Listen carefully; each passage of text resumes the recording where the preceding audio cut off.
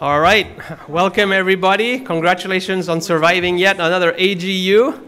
Um, it is Friday afternoon at 4 p.m. We're so excited that you're here with us in our session. Uh, this is probably going to be one of the funnest sessions you've been to at these conferences. We're going to focus on the why we do science. And uh, when we publish papers, it's probably the most sterile version we could do to communicate what we do to people who are not scientists. And so the why is how we unite with our audience. And I also, speaking of audience, want to uh, say hello to all of us who are watching us on AGU Go. So, well, good morning, afternoon, or evening, wherever you are. And um, we all have this capability of connecting with the audience when we share our emotions, when we communicate science, focusing on the why. We all have this superpower of science communication. So I urge all of you, when you talk to the public, don't, don't be shy about uh, showing your cape. Um, so we have a very cool session today, and on behalf of my co-conveners, uh, Heidi Stelzer, Claudia Corona, and Tashiana Osborne, we're really excited that, that you're here with us today.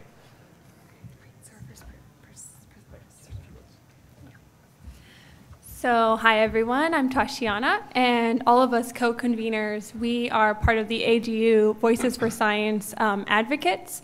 And this is a new program by AGU where they selected 30 of us from across the nation. We're all in kind of different subfields, different backgrounds, but we all come together to work on um, training in science communication and outreach and policy. So if you're interested in checking that out, it's going to be going on again this year. It's the AGU Voices for Science Advocates. So thanks for being here. We're going to get started with our speakers here.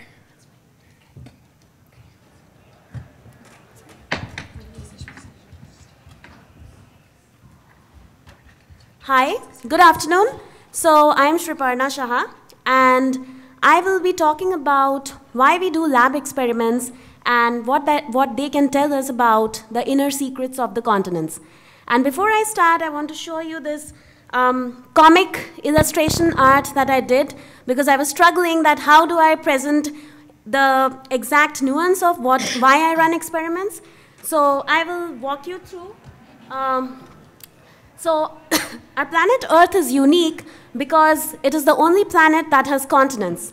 And do we have a... Okay, so it's the only planet which has continents. But, uh, so in order to understand that how Earth has evolved over time, it's important to understand the features of these continents. But if you take a look at the inner structure of the continents, we, we see that it's um, very heterogeneous, which means that the, there is a difference in the properties and uh, composition of the inner layers. And it's the difference in these properties, uh, if you look here, um, we see that it drives processes like uh, the, there are differences in density and other physical parameters which um, cause it to convect. And by and convection, I use a technical term here, but um, it, is, it is one of the processes which is driving plate tectonics. And plate tectonics, what we see is in the form of mountains, volcanoes, and earthquakes. The continents are very unique specifically in this context because if we take a look at the inner um, core of the continents, they are devoid of any kind of tectonic activity. And given that Earth is tectonically active, it's very um, confusing, it's peculiar that what causes this stability of, of the cratons. So here I have done an illustration where I show the inner, uh, the, the structure of the craton. And we see that um, the cratons are as old as 4 billion years. They are very old in their age. And also, um, study of earthquake waves that travel through these cratons show us that these are very fast. And the speed with which, which these waves travel across the, through the layers of the earth actually depends on the physical properties of each layer. So given that we, we kind of have a sense of, okay, the cratons are very fast, we take a look at how this velocity of uh, the earthquake waves as they travel through the earth uh, varies with depth. And we see that there's a peculiar feature, uh, there's a sudden reduction at a depth which is like in the middle of what the total lithospheric depth is. And by lithosphere, I mean it's like the top layer, the rigid layer of the Earth. So we take a look at um, natural samples, uh, which are called xenoliths. And these rocks tell us that the Earth is composed of, like the uh, cratons are composed of a specific type of rock which is called as peridotite. And so, even though we, what we can do is, in the lab, we can cook up these rocks to understand how exactly the processes which are operative in the, in the interior of the Earth, which otherwise are inaccessible, can enable us to understand these properties of the cratons. So what I do in my lab is I take a blob of peridotite and I cook it. I provide it with heat, pressure, and time. And I study what minerals form as a result of that interaction over time. And it helps us to understand how or what processes operating within the interior of the Earth, which are otherwise inaccessible regions, can enable us to explain these properties or this velocity structure that, that we are interested in. So lab experiments, in fact, are a very unique way of combining what um, features we observe um, through the collection of seismic data and at the same time simulate processes that can explain um, the processes that are going on in regions which we otherwise cannot reach. So thank you. And if you have any questions, I'll be happy to take those.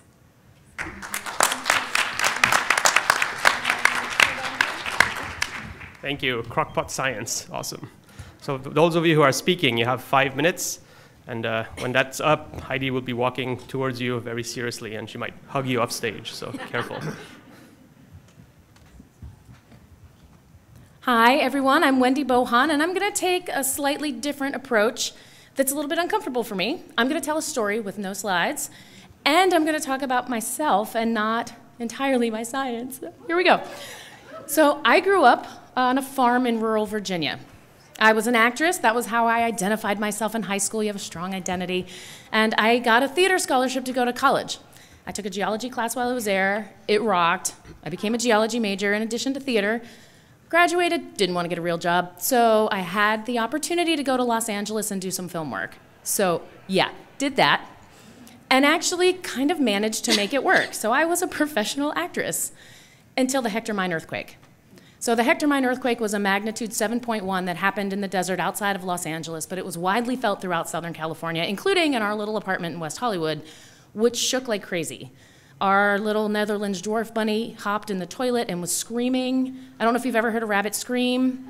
You don't want to? Car alarms are going off. It was terrifying. To be honest, it was, it was a viscerally terrifying. The earth moved, and that was supposed to be a solid thing. And I had a geology background. I knew to expect aftershocks, and I was still afraid. So the next day, I went to the USGS Earthquake Hazards Program at Caltech, and I said, I want to volunteer here. And they said, no, thank you because large metropolitan earthquake, they're touch busy. Yeah, so I went back about a week later, which I never do, and said, please let me send faxes or something. I just totally dated myself. But they said, okay, fine. And a few weeks later, the scientist in charge, Lucy Jones, said, you know, you actually are pretty good at this, and you actually know some stuff. So you want to work for us? So I quit my restaurant job, and I started working at the USGS. Two years later, I was the um, the Outreach and Education Coordinator for the Southern California Earthquake Hazards Program. So I talked to people all over the country, all over Southern California, about earthquakes, what they could do to prepare for earthquakes. I want to share one person in particular that was the reason I chose to stay in that field. She called, she was from 29 Palms. She was a new mother who had military spouse. Her husband had deployed. So she had three small children, and there was a series of earthquakes in the desert that she had felt. Terrified. She's crying. She doesn't know how to protect her children. She doesn't know what to expect. And she's all alone, doesn't have any support system. So I was able to empathize with that and really connect with her and understand how terrifying that can be. And I gave her some resources that helped her to have a little bit of agency and make decisions that she felt could protect her family. And that's when I was like, this is it. This is how I can make a difference in the world. So I went back to graduate school because I realized that I couldn't communicate the science if I hadn't done the science. So I got a PhD in earthquake hazards, and then I also worked on geologic uh, communication and education. And instead of choosing the research track, which I love research and it is vitally important, I chose to take my science and do science communication because that's how I feel like I can make an impact. And I know that the science that we do at AGU and across the world is critical. But finding a way to put that science into action is really what's going to make a difference in people's lives. We have to meet people where they are. We have to meet them with empathy. We have to understand and recognize we're bringing our own expertise, but these people have expertise too. Working with policymakers, working with citizens, working within communities, that's how we're going to be able to take the science, make it actionable, and actually make a difference and change people's lives. So that's why I do my science. And I would like to take this platform I have been given, thank you to the moderators. If you are a scientist and you want to do research or you're not sure that the academic track is for you, you want to do something else, that's okay. You're not a leak. You're not a failure. You can take your science and apply it in other places and have an impactful, meaningful, happy, successful career. Thank you.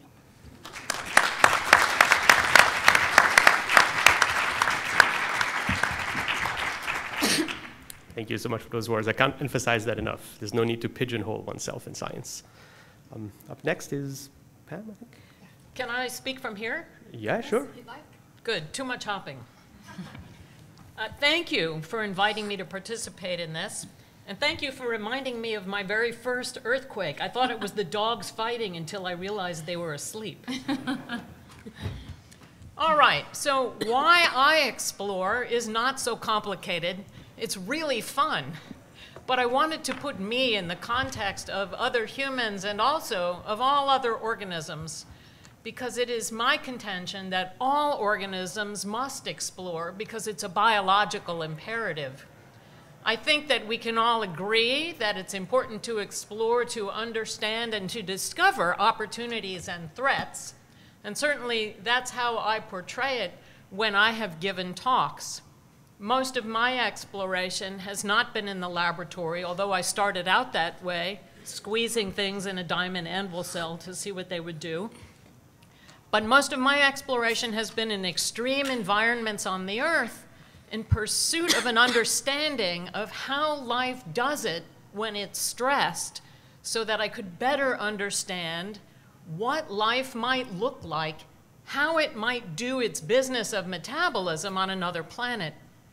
And so for the last several years, I've been exploring Mars with the Opportunity rover in an attempt to understand what makes a habitable planet is Mars a habitable planet? And what can Mars tell us about the Earth in that regard? Because if you're here, you probably know that our earliest history is gone, subducted into oblivion. So to understand the earliest moments when life emerged is very tough. We don't have that direct evidence. So if life explores to look for new opportunities and to learn how to avoid threats, then it can't help it. But the question is, what is the larger utility in that that goes beyond that organism? So the punchline for that, in my opinion, is that it's an evolutionary forcing function. Organisms must learn to interact with other organisms. They must learn to interact with new environmental conditions because over time environments change, they become depleted of resources or they become filled with toxins or the waste products of the life that's presently there. And as that time passes, the organisms either adapt or they die, or they radiate to a new niche.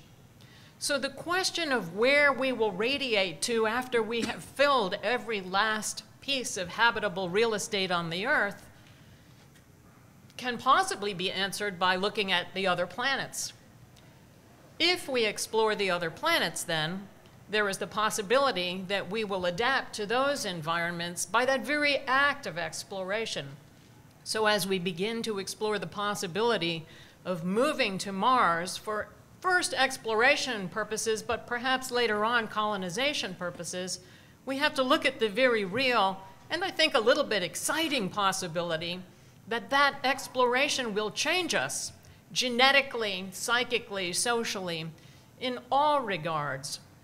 So if exploration turns out to be an evolu evolutionary forcing function, then we have to allow ourselves to ask, how can we explore intentionally in ways that protect the environment we're exploring? We have inherited a colonialist uh, approach to exploration, one in which we go to exploit. Exploration does not have to equal exploitation. There can be a better way of understanding new environments in advance of spoiling them so that we can take inventory and take a lesson from the life that is there or the lack of life that is there. So as we explore other planets, as we explore the most extreme parts of this planet, we can be mindful now that we have outgrown the need to explore in a colonialist fashion, embracing new perspectives when we go to look at another environment. And the last thing I want to say is that I completely agree. You can be anything with your science background. While I'm still a scientist and I'll still be working on Mars for a lot of years, uh, I actually have left my full-time job as a scientist two years ago and now I'm an Episcopal priest. So don't be afraid to talk to those people in the churches as a scientist. They'll listen. Thank you.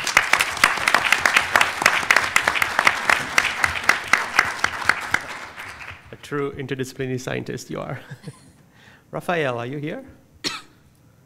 there you are. Stop waving and come here.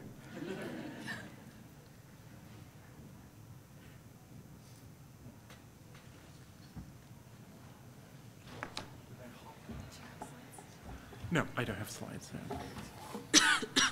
No. Um, hello. Uh, thank you for being here. And before I begin, I'd like to thank Heidi, Claudia, Tashiana, and Samjoy to giving us this platform to talk a little bit about what we do uh, and why we do it. I think that we're more used to talking about uh, our science and not the whys. So having this platform is an amazing opportunity for us to do that. Um, as you will see, I don't have slides uh, because I was motivated by one presentation of one of our uh, fellow uh, Voices for Science member uh, yesterday. She said that she uh, wasn't using slides because she took a storytelling course and taught her how to communicate her science and her story without using graphs and photographs and whatever. And, but I have never taken a storytelling course, but I've been uh, dungeon mastering Dungeons and Dragons for 10 years. So I have a pretty good clue on how storytelling goes. Uh, so I think I can do this without any slides.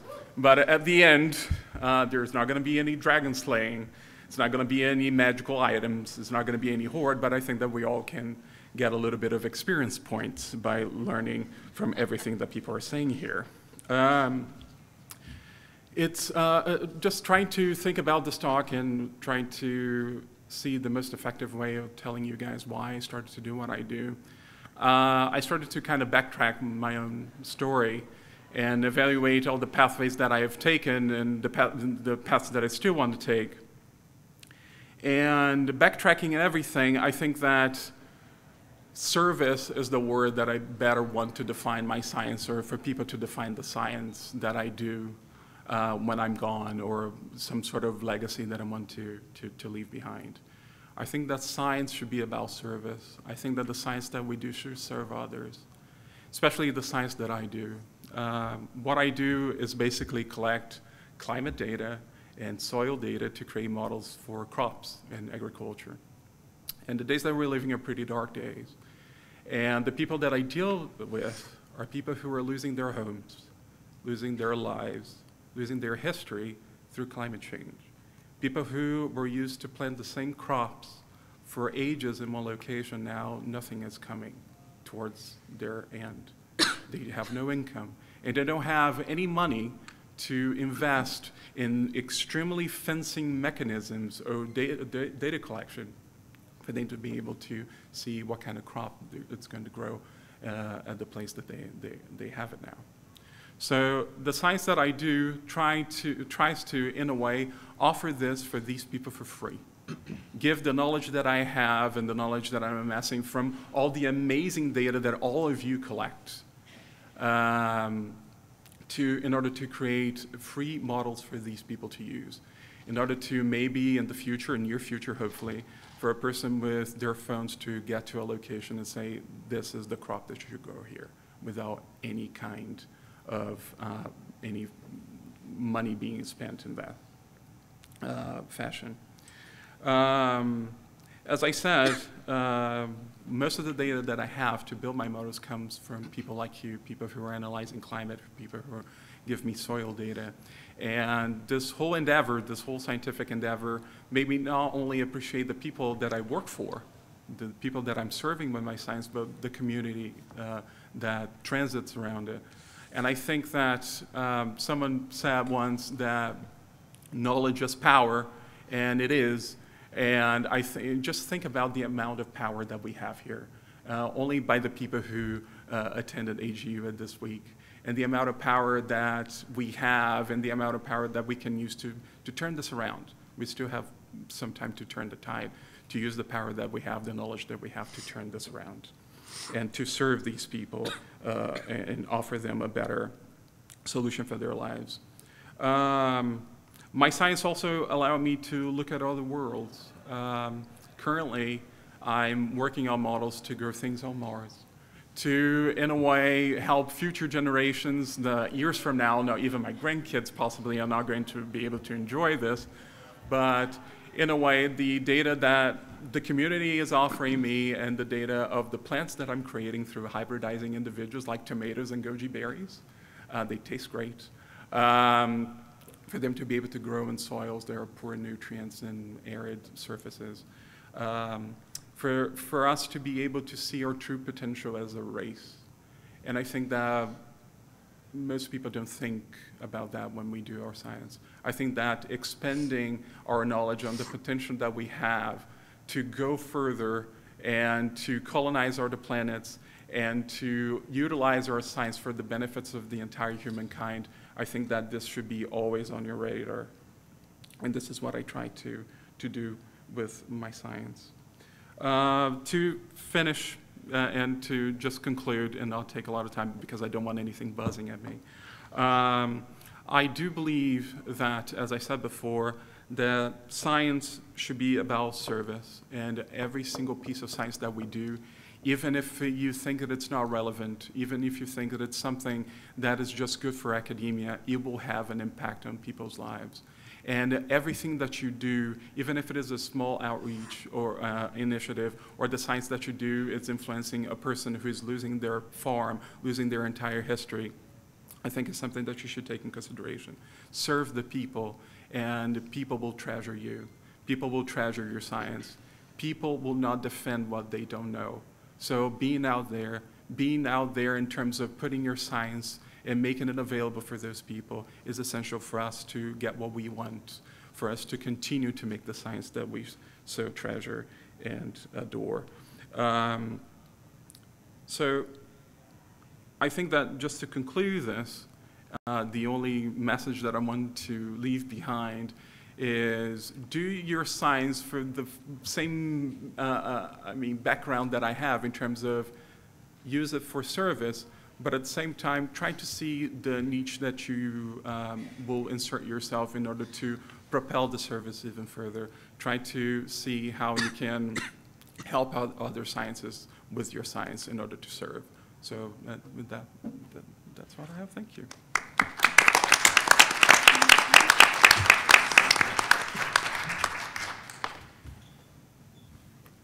Thank you, Rafael. Yeah, it's a good reminder that being a scientist is sometimes so much more than just doing science. Next speaker is James.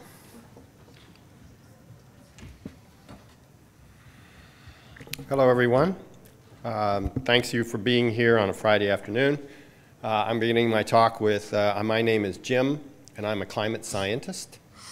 And you're supposed to go, hi, Jim. Hi, hi Jim. This is interactive, folks. Um, I, I really, this is a, a fascinating opportunity um, to tell my story. Um, I've always been fascinated by the environment. Um, I grew up in East Tennessee, basically in the Smoky Mountains. Um, I grew up about eight miles from Dolly Parton. So that's uh, my only claim to fame. So I, I could actually stop right here. Um, but I, I, I remember, even as, as a, a teenager, swimming in some streams in East Tennessee. And um, I, my friends were all having fun, surreptitiously drinking beer when they shouldn't have been. And I was fascinated by where the water came from. And even more geeky, I was convinced that everyone else had the same thought I had. Of course, they didn't. I, I learned pretty quickly that my tribe, our tribe, is not that big. Um, and early on, uh, pursuing that passion about, about how, the, how the world works, where the water comes from, was enough. Um, it was an itch that I scratched, and I scratched furiously. Um, but I knew that there was more. Um, I knew even from the beginning that it wasn't just a passion to understand the how of the planet, but there was more to it. I just didn't, wasn't able really to articulate it either to myself or to others. So when I was a graduate student, I chose two fields to work in. This was in the 1980s. Uh, I chose paleoclimate and, and the carbon cycle. Uh, this was out of a dual desire. A desire, one, to study something that was important. Even in the 1980s, we knew very well that climate change was real and this would be an important thing to do. But also, I was also scratching another itch that I wasn't really articulating well, and that was that itch, um, as the previous speaker said, to serve society. That there was something important about studying climate change. There's something important about studying the carbon cycle. And over time, that latter reason has become more and more dominant. I have spoken in public about sustainability and climate change um, so many times now that I've, I've lost track, something on the order of once a week for about 30 or 40 years now. Um, and uh, I started out, you know, being a very, you know, scientific talk, physics, chemistry, and I noticed that, yes, I was preaching to my, my tribe, but most of the people in the room, you know, kind of glazed over after the first 20 minutes or so. And so I started thinking, you know, how can I bring in that other piece that I know is in there that needs to be in there? And so I started to speak more and more about ethics, about morals, and I've become convinced, I think as many people have, that really the key to understanding and dealing with climate change is not physics and chemistry, we got that. It's about getting people to understand what's right and what's wrong and to do the right thing. Um, I'll tell you a little story. About uh, 20 years ago, I started to end all of my talks with three uh, ethical things that we could do as a species that would get us closer to sustainability. And the last slide would pop up on the screen, and it says, and it still says, it's time to end male domination. And 20 years ago, that got stares. 20 years ago, people didn't like that slide. As a matter of fact, I gave a talk at Colorado School of Mines recently. They didn't like that slide. Um, but people didn't like that slide. I, obviously, it gets a very different reaction now. Now, why would I say that? And I say that, as you all know, because really population has to be controlled. And demographers tell us over and over again that the number one way in which we can control population on this planet is to empower women more economically and more politically. And when we do that, we naturally move towards not only a more equitable situation among the sexes, but we move towards uh, a more control of population. And it is really um, that piece, that, that last piece, that has become more and more um, what I talk about. Uh, I learned to reach out to other people, not just with physics and chemistry, but with talking to them about what we all share. I talk about children. I talk about grandchildren. Um, I talk about ethics. I talk about God. Um, one of the most fascinating talks I've given recently have been uh, the subject of science and God, because it is really a, fascinating topic. And really, it, it, it brings into focus to me I, what I think uh, I will end up with, which is that while I started out really focused on the how of the environment, I now recognize that the why of the environment is just as important. Thank you.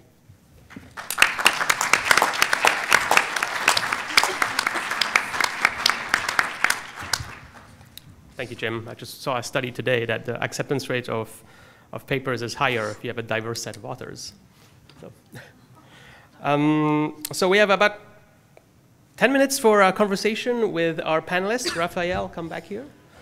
Oh, there you are. Good. Um, and the floor is open for you guys. If you have any questions for our panelists. Um, there's one.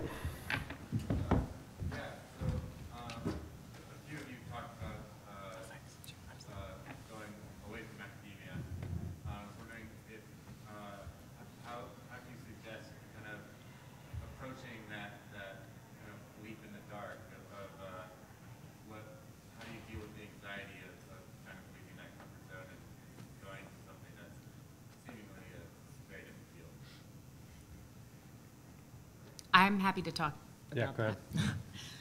It is, it is scary. Um, Could we're you repeat the comfortable- question if possible? Oh, sorry. The, um, if you plan on, if you want to consider leaving the field of whatever academia flavor you're in, how do you exactly do that? How do you deal with that anxiety? How do you know what to do? Is that a fair?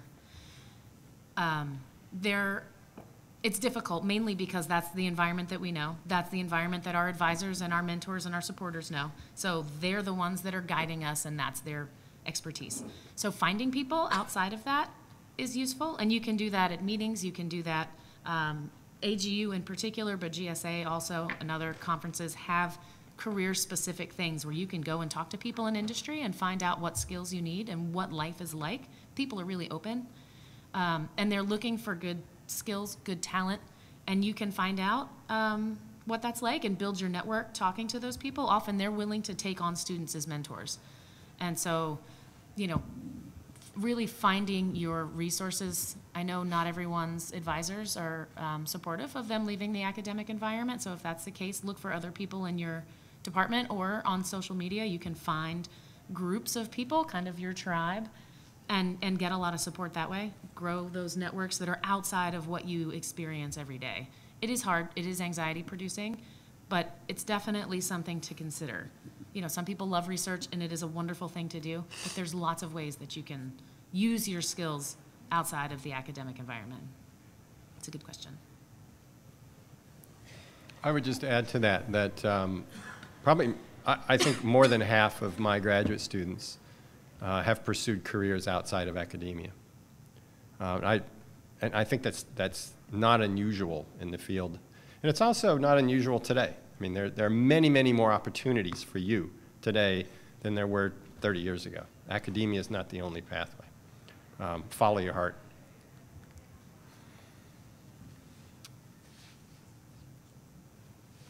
So I've heard a theme a lot this week of um, science to action kind of encapsulates it. And, and I think in many domains that's fairly obvious how one would like to see science lead to action. But AGU covers some areas like uh, you know planetary science, the rings of Saturn, where it's a little bit harder to map from science to action. So I thought I'd throw out there, um, I have an answer in my own head, but I wonder if any of you would like to talk about um, not only science to action in direct situations, but science to action where it's really just because it's cool, um, and how you translate that into getting more public interest and involvement. I'll take a stab at that. You know, we tend to talk about science like it's a thing, but it's actually an approach to learning about some things and learning about some processes. And so, for my personal answer to your question, uh, I walked away uh, because I loved nature. It wasn't science I loved. I, signed up to be a scientist because I thought that was a really efficient and value returning way to approach understanding nature. But I stopped loving exploration when I had to be in a very uber competitive environment to get money, to build new instruments, to go do something that had value in the field when I realized that all of that was an excuse for me to go back into the field, which is awesome. And the same thing happened with my love of the Mars exploration I was working on. So when you think about science as an approach to understanding a different thing you love, depending upon what the action is that you want to move toward and away from just the approach of science, there are a whole host of reasons and ways that you can move to action. So, for example, becoming a science communication specialist. There are a lot of people in our country who are afraid of overeducated people, and in particular scientists, because we use 50 cent words that nobody else knows except our own cohort of people. And the imprimatur is upon us to learn how to use the words that are the vernacular so that people will understand what we're really talking about is nature and the technology that allows us to live comfortable, healthy, and productive lives. So being a good communicator is one way to move to action. When you speak about esoteric or what looks like esoteric science, to somebody who's suffering from end stage cancer, the rings of Saturn sometimes are not very inspiring. And I personally could no longer justify spending all of my time exploring Mars. I asked myself, if you're so smart, why aren't you helping people who are miserable? And then I realized that actually I'd really rather help the people who are miserable while maintaining my interest in the planets and in this planet and in all the things that make it tick and work together and in all the things that make us tick and work together. So depending upon your personal context, your call to action may look different than my call to action, but we are all able to choose agency and act knowing that we have the choice to be productive and loving and respectful of our planet and of each other while we use science to try to understand all of these things around us. I Hope that helps a little. Beautiful. Still have time for questions. Um, perhaps online there is one. That's one online question.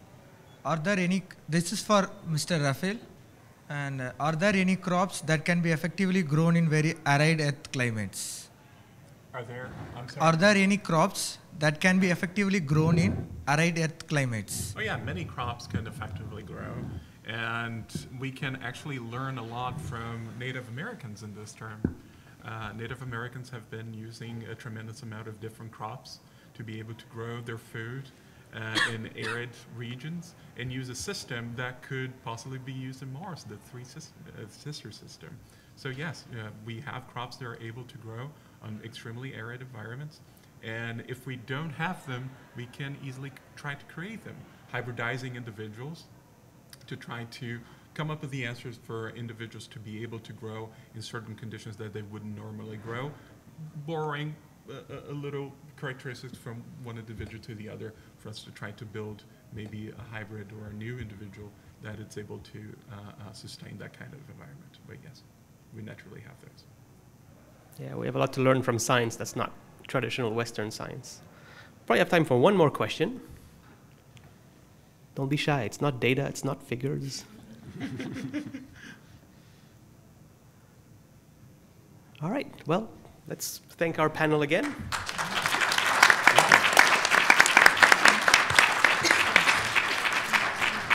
And we'll move to round two. So, Evelyn, Yuxin, Dalia, Kim, and Rachel.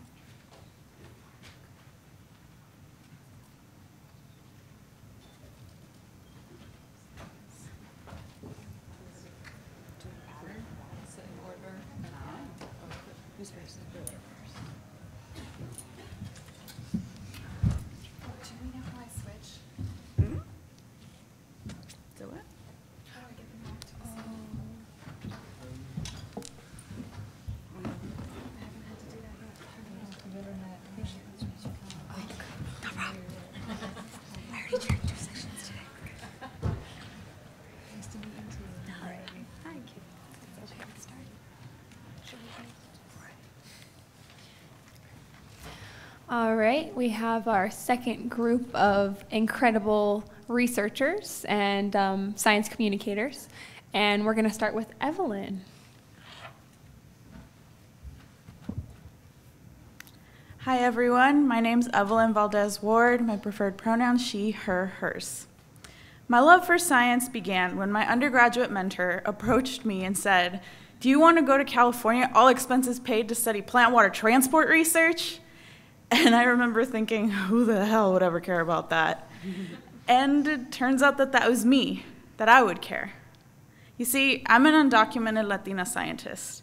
And in the sciences, there aren't many scientists that look like me.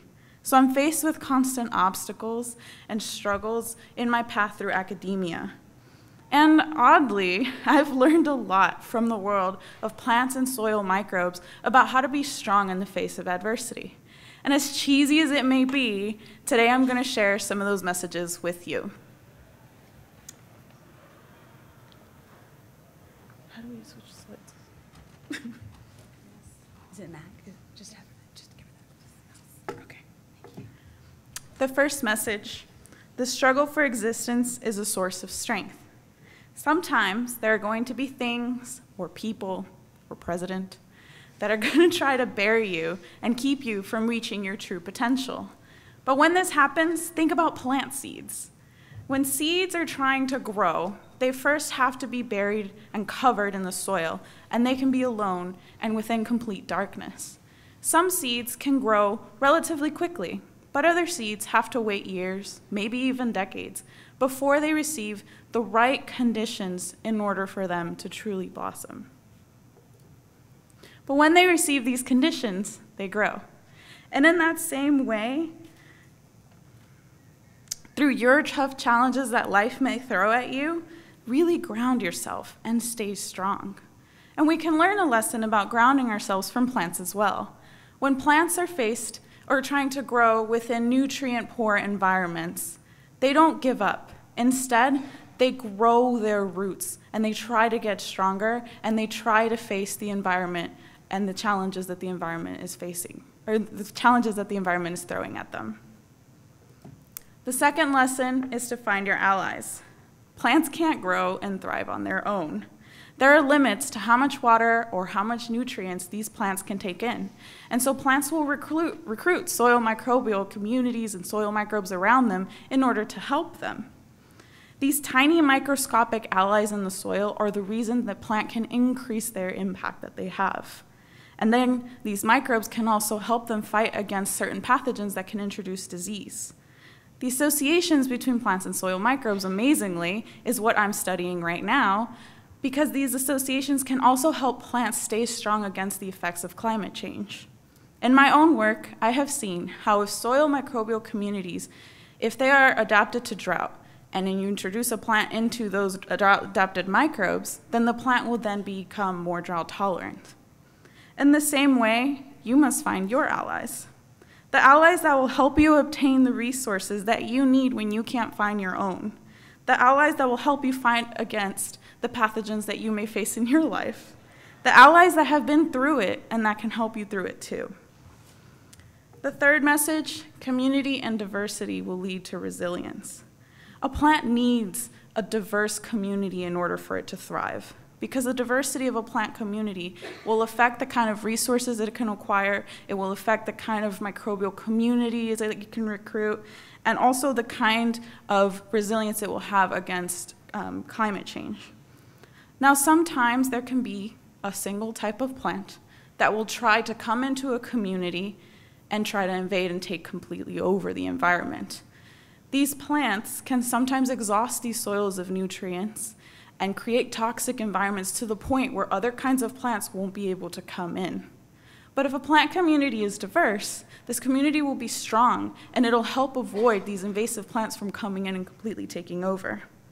In the same way, we must have a diverse community to surround us and to protect us in order for us to be able to do good science.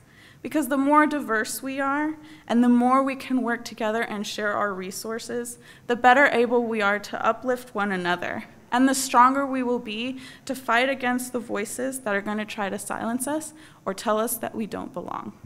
Thank you.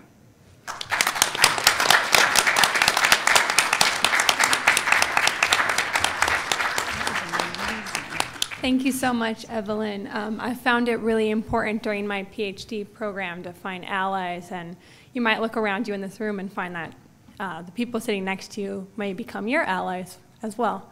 So up next we have um, Yuxin. Wow, how we how can I top that talk? I'm really under a lot of pressure. Uh, hello, my name is Yuxin Wu. I'm coming from uh, Lawrence Berkeley Lab in Berkeley, California. And uh, thank you for being here. I think this is more people than actually my science talk on Monday. And uh, I, am sure I was exhausted, you know, me too. I mean, like the, and hour of the end day uh, on a very long journey. And I, I, think we heard enough about science, and uh, I personally got a little, little bit of science fatigued. So I'm not going to talk about actually the science I'm doing. I'm actually going to talk about how I actually got into the into this field, uh, like kind of personal story. So when Heidi first asked me to come, whether I want to come and give this talk, I quickly said yes because I thought, you know, this is going to be easy. You know, who doesn't know why they're doing what they're doing, right? So, so, so I said yes. But, but when actually, after when I think about it more carefully, I, I think it's really not a very easy question. You know, you, you know, I think you do science for such a long time, you kind of forget how you got started. So I kind of, I even went online following Heidi's suggestion to look at this guy, um, Simon um, Sinek. So he had, he has this inspiring uh, talk called Start With Why. So I watched that talk. It's very inspiring and very uh, thought-provoking, but, you know, even after watching that video, I still couldn't kind of get my thoughts straight. So I thought I kind of went back and think about how I got started and maybe to find out why I actually got into this field. So um, I don't have any slides. I got this little cheat sheet here, so I can remember. God, my brain is freezing after the whole week. So I, I, the title of my talk is not shown here, but I think I have my original title as "How Did I Get Become a Geoscientist and a Quest for Why." Like this is kind of a, a strange title because normally you would actually have the why first, then the how, right? It's like writing a proposal, right? You have to lay out all the why, the motivation, then the research plan, the house. Otherwise, you're not get your project funded. We all are pretty familiar with that. But I think you know, life or career doesn't really. It's not like proposal writing. It doesn't kind of uh, normally planned out well at, at the front. At a young age, you know, your funding agency, in, in this case, your parents don't really have the chance to, defund, to not fund you. So I kind of started kind of exploring a lot of things freely. And, uh, you know, I, I grew up on a, you know, farm family that my parents, neither of them had a lot of education. So I kind of, a, they didn't really have a lot of expectation for me to kind of, you know, to be, uh, to do something grand in, in, in later. So I kind of uh, spent a lot of time playing in the wild, kind of being curious about many things in nature. Um, you know, um, I, I, think when, when, when I grow older, I kind of doing uh, pretty good in school. So my parents' expectations are kind of growing very high. So they're starting to expect in college from me. And I was, you know, again, I have no, uh, I didn't really think too much about my future back then. I kind of spent most time, most time, most, most of the time playing. And, uh, and you know, but eventually, um, I was thinking maybe I should go to college. But, you know, back then, I don't know, uh, maybe some of you come from China, you know, uh, but most of you probably don't. In China, back then, they have this program called uh, college uh, exam waiver.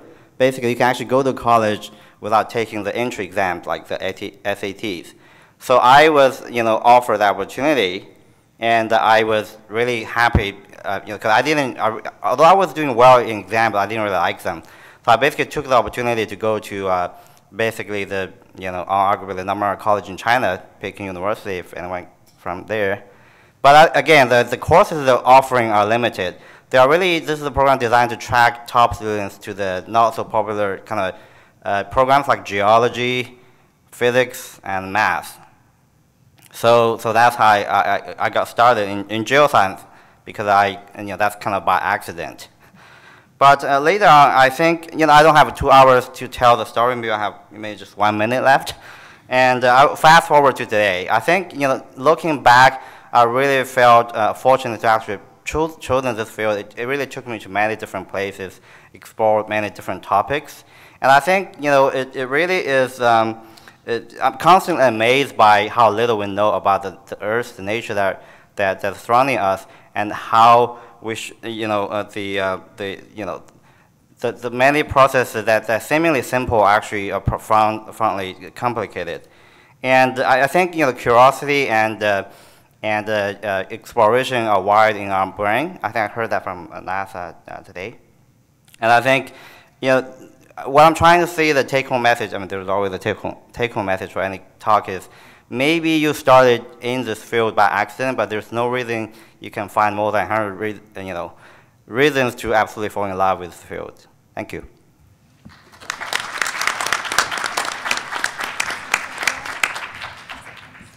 Right, thanks so much. Um, it's kind of interesting because I kind of think of it as a ripple effect, how some of us, we started out with this interest in nature and it kind of um, trickles into other things and allows us to make a difference and an impact with the science that we do or the communication that we do. Up next, we have Dalia.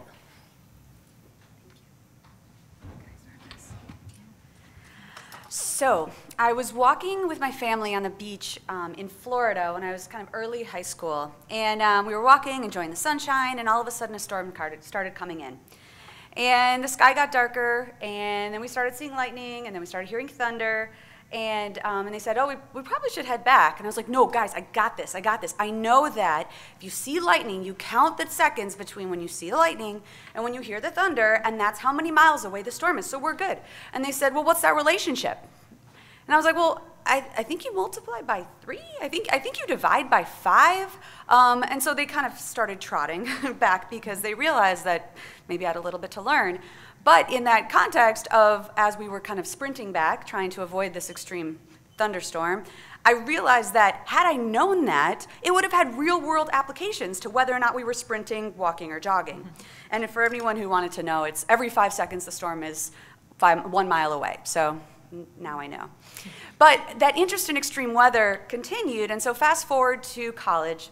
I'm sitting in a freshman seminar, and um, I'm from Minnesota, and I see this slide, which actually is um, what a, a, a, class kind of a couple years above me had put together. And it shows all of these different disasters across the US. So in Minnesota, we have flooding. Um, the Mississippi River, the Red River floods every spring. It's always a surprise for some reason. Um, and we have tornado drills every year. But I was looking at the landscape of the United States going, oh my gosh, there's earthquakes, there's storms. Look at how we can understand this in an integrated way. But how can we transfer this into a knowledge that we can really understand? And so, after having some excellent guidance and talking about allies and mentors, some amazing experiences along the way, I went to uh, the field of natural hazards and I ended up at NASA. And so, you know, a lot of people think about NASA as doing space research, which we do, but one of the most compelling things that I find about our Earth is really understanding all of the different satellites that have their eyes pointed down at Earth, taking the pulse of our planet, and taking all of these different types of data and putting them into this integrated system to understand how our Earth is changing. And not just that, how our Earth is changing from precipitation, from precipitable water, from soil moisture. What I did is try to figure out, well, how can we take that data, which is free and open to the public, and use it to understand disasters? And so my research focuses on landslides, where and when landslides are happening around the world. So what you see here is a model that we just came out with this year that, um, that looks at rainfall-triggered landslides around the world, understanding the distribution of where we might expect potential landslide activity. And so as you cycle through the months, which we looked in the last 20 years, we start to get this big picture, global, near global perspective on what where we might experience landslides. And this is actually the first time we can do this quantitatively around the world. But then you start to see the dots. And the dots are the landslide fatalities or the landslide reports that we've been compiling for the last 10 years. And you see that the dots, the size of the dot is the number of fatalities for the landslide. It looks a lot different depending on where you are. And so the thing that motivates me about science is how can we take all of this free and open data and all of these models and use it to better understand how to shrink the dots, right?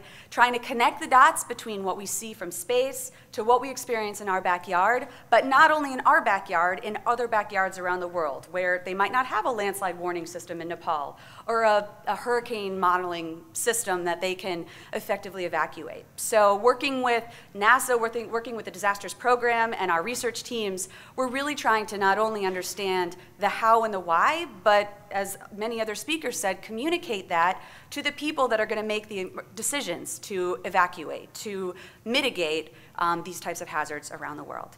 So thank you so much.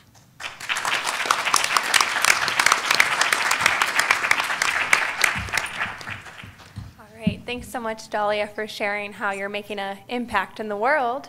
Uh, next, we have Kim Cobb.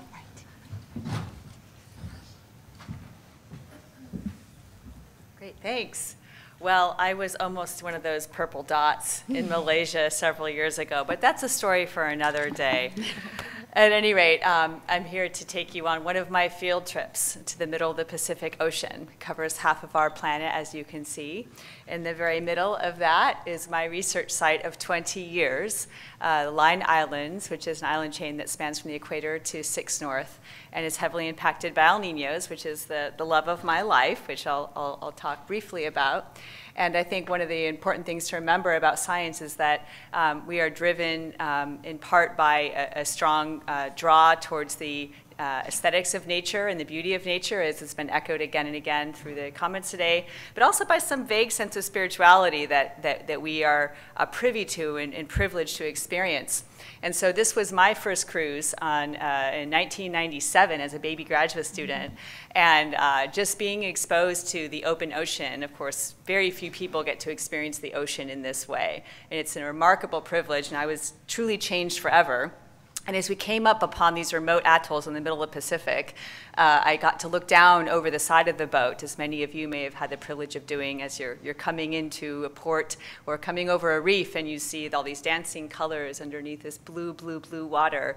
Um, and so, uh, as a strong person who, who, loves art and aesthetics, I was, I was taken. And then, of course, you pull into an environment like this, which is uh, uninhabited uh, research site and, and uh, remote atoll in the middle of the Pacific, and you know, you, you are permanently changed. These places are stunning, and you get closer and you you see that there are unique inhabitants there that were there long before humans, long before you, probably know a lot more about this environment, and some of those are living underwater. And so this is my research subject, uh, corals uh, growing on these remarkable reefs in the middle of nowhere relatively untouched by human societies and many of the ills that we bring with us in terms of uh, dynamite fishing and coastal runoff and agricultural practices. These are, are amazing reefs that I had the privilege of diving on again and again and again. And so the closest I've ever come to religion, I'm not a religious person, is, is being at these sites and witnessing these things and remarking on how much they have to teach us if only we could understand them better. So of course, then I get out my big hydraulic drill and I drill the heck out of them. so this is me uh, drilling a core that takes us back in time with ocean temperature extremes. This is me installing a CTD on a reef in 2014 at one of my research sites. This is the same reef in 2015 under what would be a record-breaking heat extreme associated with a massive El Nino event, record-breaking temperatures up to 31 degrees uh, at that site. And this is the same reef uh, six months later uh, under uh, extreme temperature stress that has taken it over the brink to broad scale devastation and death, and you're looking at a coral graveyard, uh, my long term research site of 20 years succumbed to heat stress two years ago. And then several months later, he was elected. I was on my research site, at my research site at the time, uh, conducting a field expedition. And to juxtapose those two in one body uh, was a very complicated task and involved a lot of tears. And so one of the things that I emerged uh, kind of thinking about is, is what is the role for science, what is the role for scientists in championing and shepherding society forward. And many of us have talked about this today as well. But this is what I found myself saying unprepared, off the cuff at the Up for Science rally in AGU a couple of years ago, um, that we have failed to give voice to our data, wholesale failed to give voice to our data. And it was insufficient to deliver those data. We had to use our voices and use our bodies to bring those data into action. And so I will just, you know, share some of these reflections with you and invite you to reflect on the role for scientists in this era of uh, crushing uh, climate extremes that are devastating communities all across the world. Um, we have a crystal ball. How are we going to use it? We need to reset the institution of science in particular and recognize that if we're going to move forward, we need everybody to come with us, okay? We need to bring everybody along, and everybody means everybody. It means the immigrants, right? It means the transgender community. It means the LGBT and, and all the minority communities and the Native American communities. It means everybody. And so how is our institution going to accomplish this?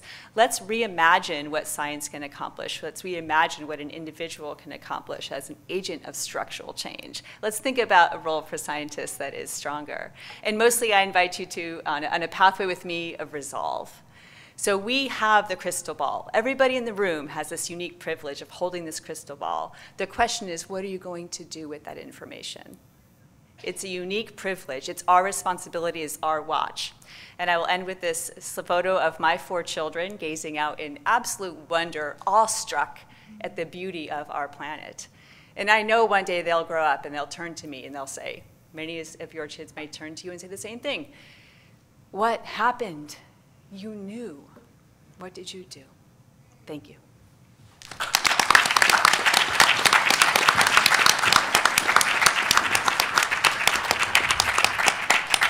Wow, thank you so much. It's really powerful message to think of us having this crystal ball and, you know, what, what are we going to do with that collectively to bring this science to action. Up next, we have Rachel, and she'll share about some of her fieldwork experiences. Uh, thank you. Um, I certainly have been inspired by um, everyone who's spoken so far. Um, and I um, will share just a little bit about an experience I had recently that was definitely quite inspiring um, for me as well.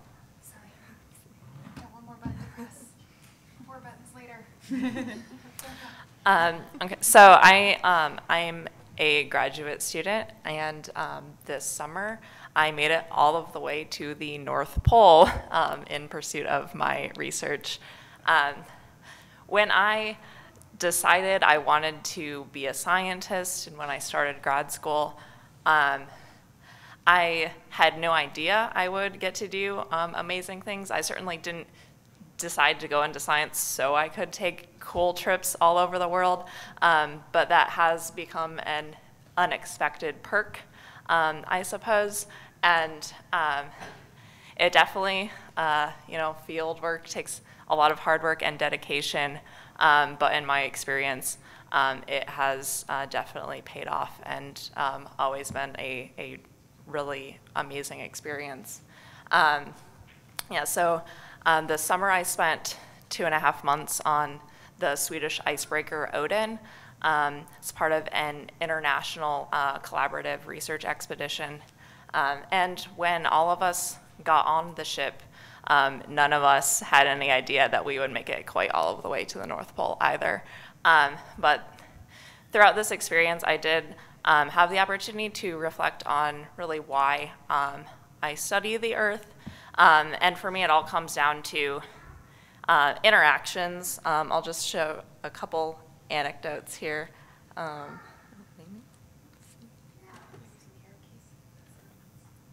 um so I'm an atmospheric chemist, um, so I, I, really like studying reactions that happen um, in the atmosphere. so I was doing a lot of sampling off the, the top of the ship this summer. Um, but in order, to, well, I think my um, research is super interesting, but in order to put it in context, really have to rely on um, everyone else involved in the project um, who are studying the meteorology and the oceanography and the microbiology and the, the sea ice physics. Um, and I think that's really wonderful to be able to see all of these pieces come together and all these people with different expertise. Um, with different pieces of the puzzle to, to really tackle these complex uh, interdisciplinary problems. Um, so uh, this is the fun part um, and probably why I was inspired to become a scientist is just, um, you know, the interactions of people with their environment. Um, and in the Arctic, um, we were reminded of that uh, constantly that as humans, we were maybe a little out of our element, way out there on the sea ice. Um, the Arctic can be a pretty harsh, unforgiving environment.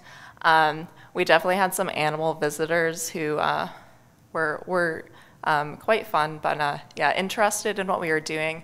Um, I like to think that they were there to make sure we were being good stewards of their environment um, and doing really sound science. Um, you know, out there, uh, the stark sea ice, um, can definitely feel a little insignificant, but um, it's also reminded um, of how humans as a species can really have a very large impact on our environment. Um, so I hope that we can all be inspired to um, make that a, a good impact, a positive impact in the future. Um, and just quickly with my last minute here, um, the, the third aspect is the interactions between people. Um, this expedition was really an amazing experience that brought 40 scientists together from at least 12 different countries. Um, we had an amazing crew um, on the ship and some amazing uh, scientific support from the from the Swedish uh, Polar Research Agency. Um, and I just, I learned so much from all these people um, about science and about everyone's different background and culture. Um, and I mean, we, we all lived on a ship for 10 weeks without internet, so uh, we really learned how to actually have those face-to-face conversations again. Um, and it's just really the, the support and the inspiration that I get from the people I work with every day um, that have really made the science um, worthwhile. Thank you.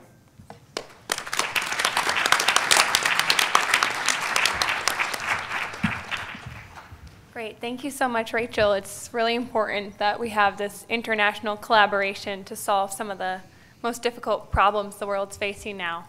Uh, we have we have several minutes now for some questions for the panel. Does anyone have any questions, comments?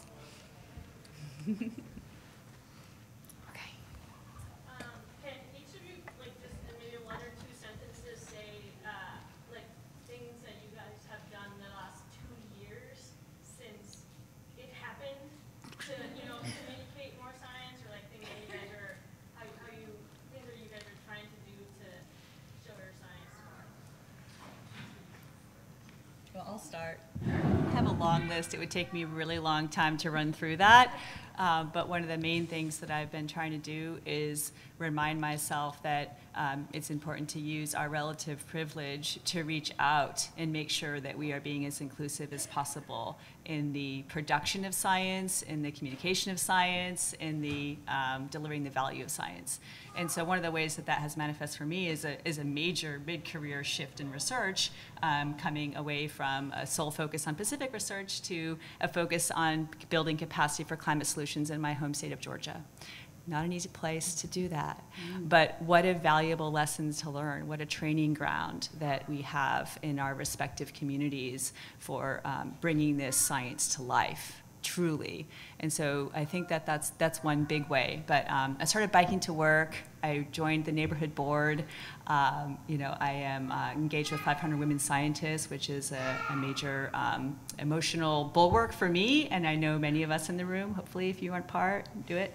Um, and so just finding new communities, frankly, and, and, and, reaching out and being proactive, calling people to task. I was on Capitol Hill today. I met with five offices from Georgia. Um, so putting your body there is, I think, extremely important, and having the moral courage to and re-envision a, a future for science that is um, is community oriented, community driven, and community serving. Well, I'll go next. So I think um, science isn't done in a vacuum, and science isn't done with one nation. And so I think one of the things that we've done, not just the last two years, but continue to reinforce is that our international partners are essential for conducting our science and our missions and and so I think that um, it's important to reinforce both domestically and internationally. So attending these meetings, the American Geophysical Union is American with 100 countries represented. So we have such a broad reach. And so making sure that everybody knows that we're continuing to have those strong international partnerships to continue advancing science at a universal level is, is critical. And I think that's been really important in our work going forward. So my journey began before he was elected when he started his political campaign and started with a very anti-immigrant agenda. And I was actually doing research at, um, I won't mention the institution, but one of the things he first said was that illegal immigrants were criminals and rapists and etc. And one of my colleagues was actually talking about it and was saying how we shouldn't have illegals in this country. And I looked at him and I said, you realize I'm undocumented. And he goes, Well, you don't look like one. And so you know, now that after he got elected, for a lot of people that are undocumented and had DACA, it was just a matter of waiting when he was going to do away with DACA. And eventually he did. He ended DACA. And I ended up writing my story in Science Magazine. And I was shocked that they even accepted it. But I wanted science to stand up for immigrants and for undocumented immigrants in particular because they weren't saying anything about it.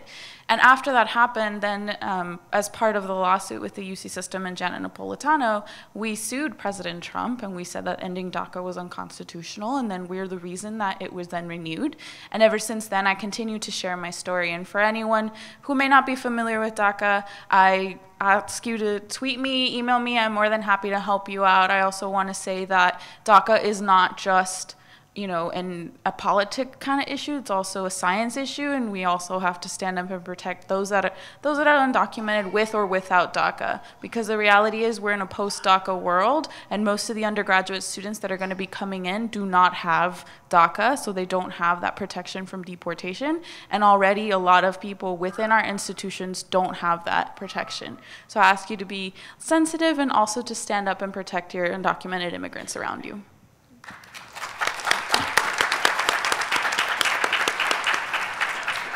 Yeah, uh, I'll just say very briefly. I think, uh, you know, stay focused on what you really like to do. I think don't get distracted and stay, you know, where your core is and really connect with the community that you're in and just, you know, um, just, just be strong and know what you're doing, really.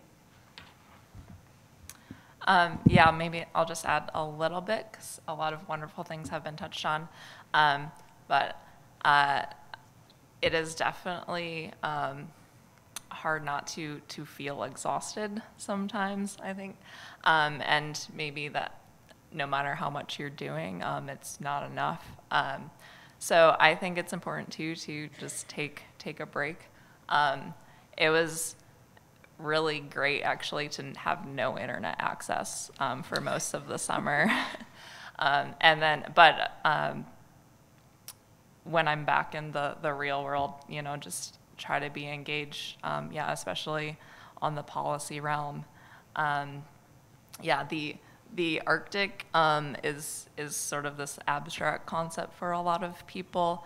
Um, I've learned that even though it's something that's become a, a large part of my life and um, I'm very passionate about, um, well, yeah, the polar bears are, are very cute, but um, that that might not be the most effective way to convince, um, yeah, like my family in the Midwest that um, that climate change is affecting them. So, um, yeah, just just do what you can. Um, don't be discouraged. All right, we have time for another question, comment, anything um, online or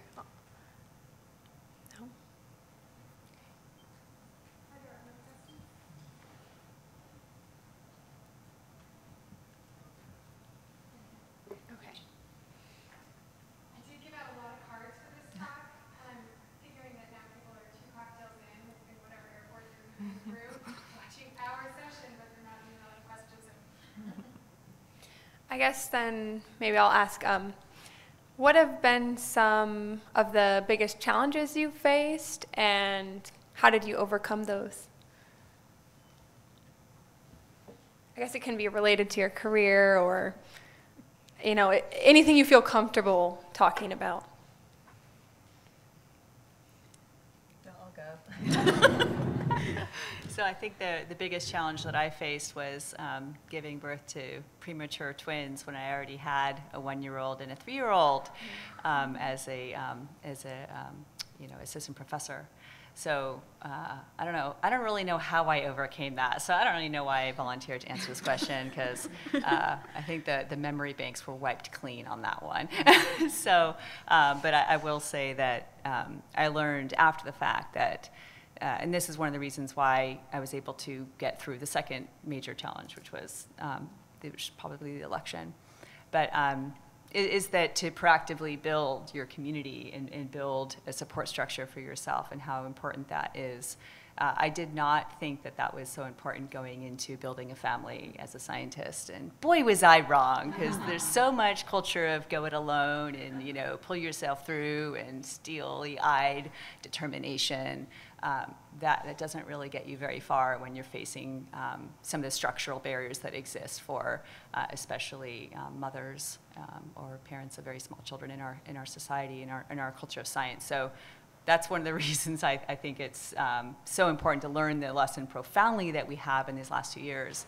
Going back to your question, which is uh, we need a much stronger network and we need to build it before it's tested profoundly because it's being tested and we're building it on the fly, but, um, but let's be more resilient as a community and let's learn about resilience individually as well.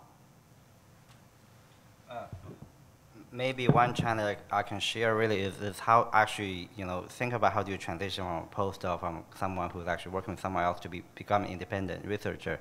I think really one thing, you know, our institution, you know, Berkeley Lab was very supportive. You know, we have, we do large teamwork, but you know, really oh, the key thing I found really is to find ways to work with people, to really get to know people, find ways to collaborate. That's, that's how you can actually overcome. I think one of the biggest challenges for, for a young scientist to come, you know, from a grad student postdoc to, to, to become an independent researcher. Well, I'll answer a different question. Okay. Is that Yeah. okay? That's fine. No, one of the one of the um, one of the words of advice that I heard this week was make the career that you want, and I think that that that really has helped kind of to address all of that, to address challenges, and if you're if you have the flexibility. Um, to be able to craft your profession, to craft your job in a way that works for you, works for having three young kids, works for having a diversity of things that you do.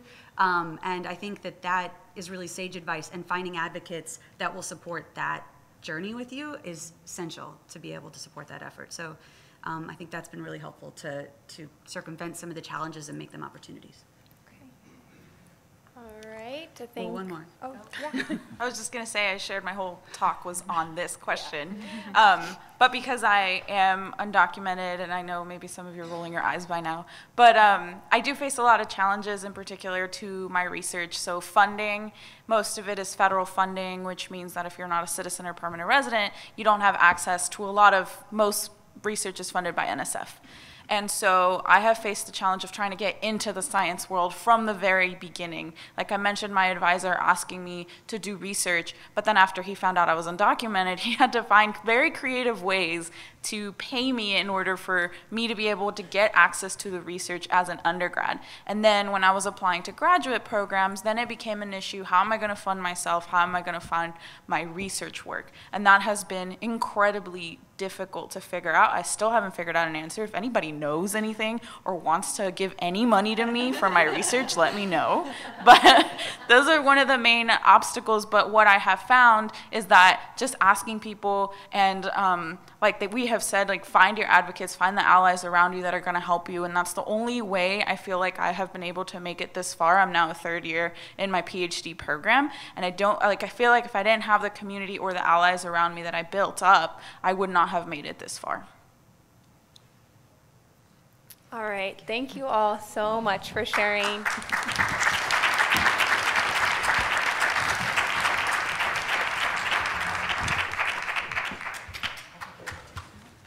All right, we're going to have one more group of outstanding scientists and communicators. All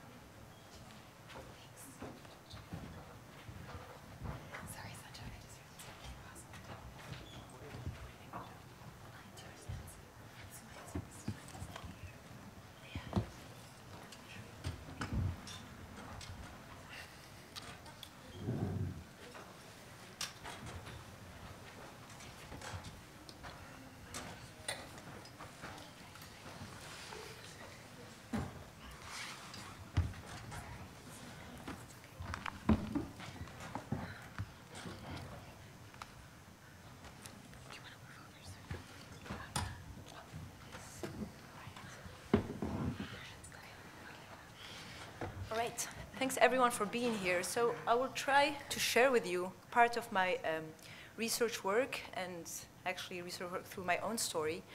Um, I'm from Algeria, and one of the things I'm most fascinated by are trees. So, trees, very fascinating organism. There are three trillions of them on the planet Earth, and whether, you know, regardless of the environments where they exist, they have been an integral part of our human history. Whether they struggle, as shown in this uh, photograph, this is an Atlas cedar existing in the slender corridor of North Africa bordered by the Sahara deserts. Whether they thrive, like the iconic redwoods in the western, uh, this photograph is from California. Whether they struggle or they thrive, they contain unique stories. And one of the things I'm most interested or excited about is trying to unravel and extract the stories that trees have. Each tree is unique. Each tree, just like a diary, every year will record the different environmental condition through which um, they experienced. As a paleoclimate scientist, I extract the stories. You can see me here sampling bristlecone pine in the Sangre Mountains in New Mexico. Or after that process, after trying to collect the element of the story, is trying to extract the story by using geochemistry. So I titled my talk Tales from Tree Rings. And tree rings can tell you so many fascinating stories. For example, the width of this ring, of this ring shown in this photograph, let us know that in 2015, the snowpack in the Sierra Nevada was the, the lowest in the last 500 years. From the tree rings, we also know in 1816, when the Mount Tambora volcano erupted, it was a year without summer. Going back in time, several decades, several hundred years, thousand years, we can give a context for our current experience with changing environmental condition. I do further than looking just at the width of the tree rings. You can look at the cells. These cells constitute one ring, and each wall around the cell has an information that tell us how trees actually responded to moisture whether in the atmosphere or whether in the soil. One of the biggest services that trees are rendering to humanity is they are absorbing about 30% of the CO2 emissions that are giving us a discount on our CO2 emissions. In the future, will they continue to absorb those emissions? This is a question that I'm trying to answer by studying the carbon and oxygen that is recorded in the cell walls and figure out if they're going to still render this service to us or not. So, you can see, I mean, this photograph is, is pretty um, devastating. This is the Sierra Nevada and the number of trees actually that died following the extreme drought condition experienced in the state of California uh, for several years. If this kind of landscape will be the future, not only will change our human experience, but it also will change our, the capacity of our ecosystem to thrive in the future. Thank you.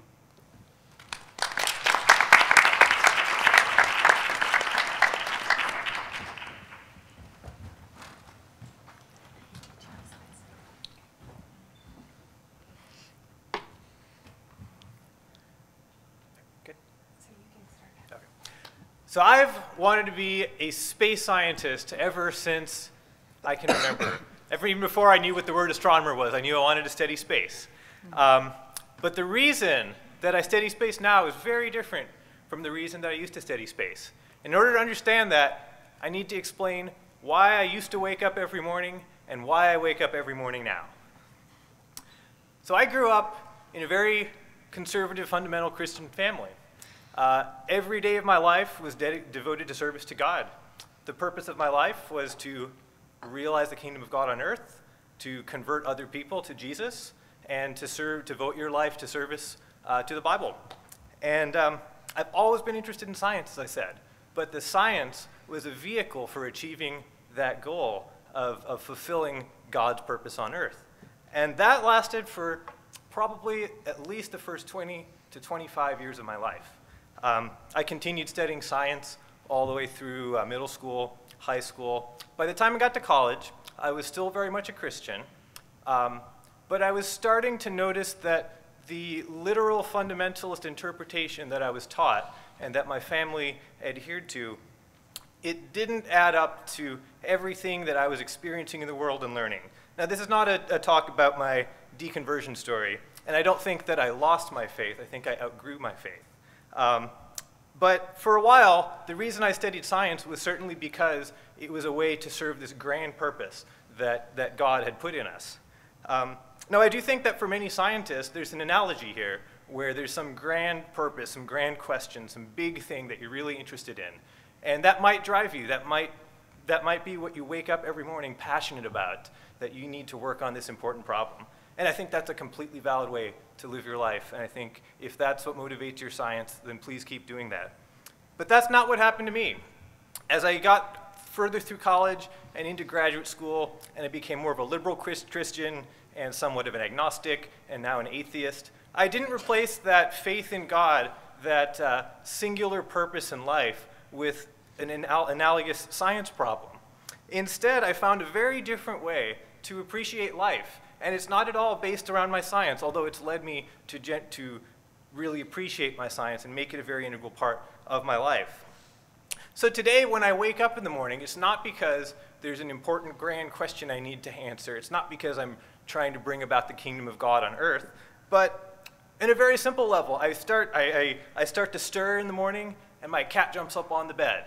And what am I confronted with? Here's what I've learned. I'm confronted with the boundary between myself and my environment. When I'm sleeping there, I don't know, I'm just me. I'm just subsumed in my whole environment. There's nothing that separates me from the world. My cat jumps up on the bed. I am forced to confront that there's an environment out there. It's different from me. There's an object interacting with me. I, there's, there's a me and there's a not me. And that is philosophically profound in a simple way. Uh, I, go, I go from my bed, I go to make some tea. And this tea, it comes from Taiwan. So I'm sitting here in Delaware in my office drinking oolong tea from Taiwan. I'm confronted with the fact that my environment extends far beyond my immediate surroundings and in fact encompasses the whole globe as a planet. Now those are very simple examples, of course. But the point is, what I'm seeking after is not a singular purpose or singular solution, but personal and societal transformation. And so what I have come to learn is that one way that we can strive for transformation is to seek after experiences that confront us with the boundary between our environment and ourselves. And so there's a couple problems that I'm really excited about in science that I think can do this, uh, both for ourselves on a personal level and on a societal level. Um, I study exoplanets. I'm really interested in planetary habitability. And um, you know, I think about well, where's our planetary boundaries? We live in countries. We, we, we, we have a technological civilization. There's city lights going out into space. There's radio waves. The, the boundary of our planet is greater than the physical limit of, of our exosphere or, or even the solar system. There are, there are parts of our solar system that are going beyond. So where does our boundary end? Could we look for signs of life elsewhere? Would we see technosignatures of other civilizations that tell us that our boundary does not extend through the whole universe, but in fact there is an other somewhere that we might find? I'm also really inspired by this idea that we might send humans to Mars someday. I think this is an incredibly transformative event that could potentially reshape the way we think about our societies. Uh, but you know, these transformative events can happen on small or large scales. So that's really why I study science, and that's my challenge to you. Seek transformative experiences, seek to challenge that boundary between your environment and yourself. Thank you.